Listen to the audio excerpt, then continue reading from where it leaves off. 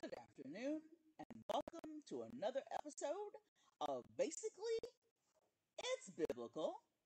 Greetings and Shabbat Shalom, everyone. Welcome again to another time to set aside uh, some study of the Word of our Lord as, as it is presented in our Bibles. Uh, the King James Version, the Amplified Version, uh, translations. We want to make sure that we're using some that are sound uh, so that they offer sound doctrine and they're not too distorted from the original text. And uh, as you know, I sort of uh, favor the Amplified sometimes because it does give us a more um, an enlightened uh, picture of, of what the meanings are because it includes the Hebrew and the Greek. However, today I'm going to try to focus more on the King James Version because that's what most of you, uh, I believe, are using. And um, so we'll do that. And of course, you can always follow along with whichever uh, translation you're using, I believe, you know, particularly if it is close uh, to the uh, King James Version. But before we get started, let's begin with a prayer. Oh, gracious and heavenly Father, thank you again for another opportunity to come and sit with you and sit under the direction of the Holy Spirit with the presence of your Son, our Savior, Jesus the Christ. Father, we ask that you would anoint our thinking, clear our hearts and our minds so that we're able to receive the word that you have for us today. Help us, Lord, to understand what uh, where you want us to go, how you want us to be prepared, and how you want us to prepare others in these times. We know, oh Lord, that we're seeing a lot of different things, experiencing a lot of events, a lot of turmoil, some distress, some distractions, Lord God, and certainly a lot of deceit. So, Lord, we need to know your direction. We need to know your word. We need to have the anointing of the Holy Spirit so that we are not deceived, so that we are not confused, so that we can look to the hills from which our help comes, and so that we can look up and see when our redemption arrives. Lord, clarify these verses so that we can be on one accord and Lord, I ask that you would anoint and bless those who are listening all over the world. Lord, there are so many people in distress and feeling uh, depressed, maybe, uh, not having some of their need, needs met. Lord, I ask that in the name of Jesus, you would guide them to the resources they need. Help bring the resources closer to them. Heal their bodies, Lord, and remove or or diminish the pain or anguish that they're experiencing. Father, let them know that you are still on the throne and that you are still in control, O Lord, and that you are still a healer, Father God, and we thank you for that. That you, Lord, still have mercy and grace, and that you still wish for their best. Lord, this is our prayer. In Jesus' name, amen and amen. So we want to again uh, try to focus on and understand what, what and when, as we started, right? When is this rapture? How can we get clues as to when actually it's going to be? What are the events uh, leading up to, surrounding, and maybe immediately after the rapture? Uh, I know that this has been, you know, a question for a lot of people, even though we studied this some time ago. Um, maybe back, uh, I don't know, maybe uh, more toward the beginning of the year. Uh, if you wanted to go back to some of those uh, previous studies, you might find it there. But we did do a little bit of a comparison before on First Thessalonians chapter 4 and 5, uh, key verses there. And then we compared that to Matthew 24.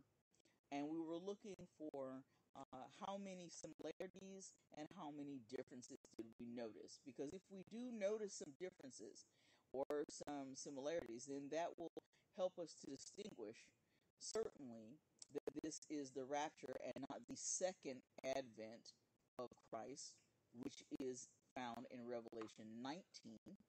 And we pointed that out last week that Revelation 19 events do not equal what is happening or are not the same, in other words, uh, to what is happening in Matthew 24. Okay, uh, we can find also that uh, if we want to look for other scriptures that help us to see uh, when the second advent of Christ is, we can look uh, to, uh, I'm going to give you a list here that you can look to Zechariah 14, and we've, we've studied that before some time ago, Revelation 19, uh, Matthew 24, 29 through 31, Matthew 25, 35, uh, 31 through 46, and Jude 14. And when we compare these scriptures with what we're reading here in First Thessalonians chapter 4 and First Thessalonians chapter 5, we can begin to make that comparison so that we do not confuse uh, the events that are occurring. Uh, we want to make sure that, you know, in the Greek, uh, the rapture or parousia uh, is not as as stated. Let me let me just reference to, uh, Matthew 24 and, chapter, and verse 3, where the word is parousia. This refers to the rapture and not the second advent of Christ. It is the same, in other words, the same word that is used in uh, uh, First Thessalonians. Let me just check here. First Thessalonians. Yes, First Thessalonians three and verse thirteen, as well as uh, what we read last week, First Thessalonians four verses thirteen through seventeen, and uh, First Thessalonians five and verse eight. And then today we're also going to look at Second Thessalonians chapter 2 and verse 7. And again, these refer to the rapture and not to the second comings. And these two these two events should not be confused. The scriptures that apply to one do not apply to the other. Uh, not not not one of the pa- not, not one of these passages refers to both events as we compared them last week. So since they uh, since they're not equal, they're, they're, they they don't compare to uh, you know the both both events as if they were one as one thing uh, or one event. These two distinct comings are separate. And remember, since we're talking about the 70th week of Daniel, we're talking about the seven years in that week, that last week, that 70th week. And therefore, there would be several years between, uh, at least, between the rapture and the second coming, the uh, second advent of Christ. Also, notice that in the second come, excuse me, in the rapture, Jesus is coming in the air, right? We read that uh, last week. We're, he's coming into. We're going to meet him in the air. He's not touching the ground, right? He's not stepping on the ground. So that's one of the most distinct um, features that we see and so the rapture is the first of the two comings of Christ. Uh, not coming to the earth, as I said, but in the air. So it cannot be the second advent because Christ does not come to the earth to live here and fulfill the mission as he did uh, at the first advent, right? When he came uh, when he was born and he grew up and he had his uh, his uh, his ministry, right? Uh, he was fulfilling that mandate that he was set out to do, which was to provide not only just teach and preach and heal, right, but to provide a, a worthy lamb for us for the for our salvation. And so then, since he's meeting the saints in the air during the rapture, right, in the air, he takes them back to heaven with him and presents them before the Father uh, before the Father's throne, where they will remain during the time of the tribulation. Okay, during the, the course of the tribulation. Now, it's important to, to, to mention here. Remember, we talked about the, uh, tribulation being this entire, uh, speaking of it as the entire seven years, right? And then we talked about a what I refer to sort of as the the minor tribulation, which is the first three and a half years, and then there's and the Bible actually says the great tribulation, which refers to the latter three and a half years, right? But then also think about this: when we talk about um, uh, a rapture being uh, before the tribulation, right? Uh, we, we we might want to narrow the definition a little bit, right? We're, it's really not necessarily uh, before the tribulation, and this is why we're doing this comparison. What is more helpful, I think, a more helpful way to understand it, it is that the rapture is before the wrath of God. Okay? The wrath. In other words, the actual outpouring of punishment, right?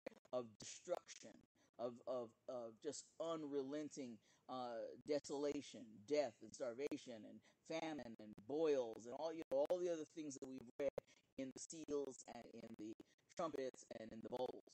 Okay, so if you if you can think of it like that, and you divide the two, you know, into the three and a half first three and a half years and the last three and a half years, and then you think about wrath. Because the scripture says that we will not we, we will be saved from the wrath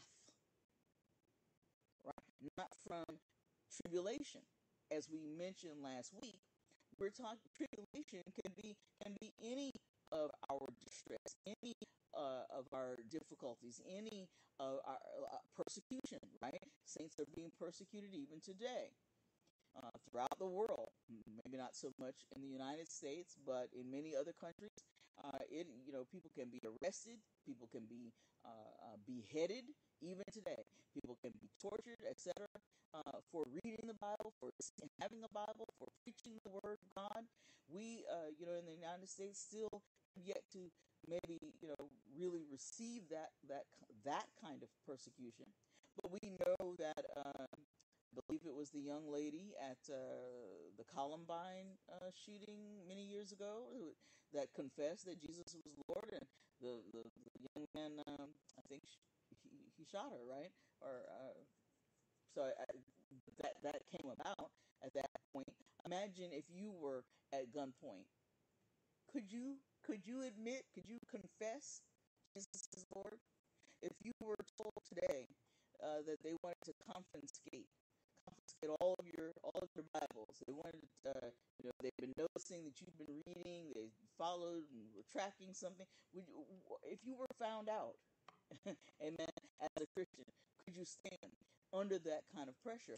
As many Christians around the world are. Okay, so we need to think about uh, tribulation in a in a much broader, uh, as a much broader concept so that we understand that yes, right now we have trials and tribulations, right? I mean, that's what we see. Songs that we sing about have the, that phrase in it, as well as other scriptures. Amen. So, uh, try to think of this as not necessarily a pre-trib rapture, but rather a pre-wrath rapture. In other words, before the uh, uh destruction and the utter desolation occurs, the Lord said we would be free, we would be freed from the wrath of God.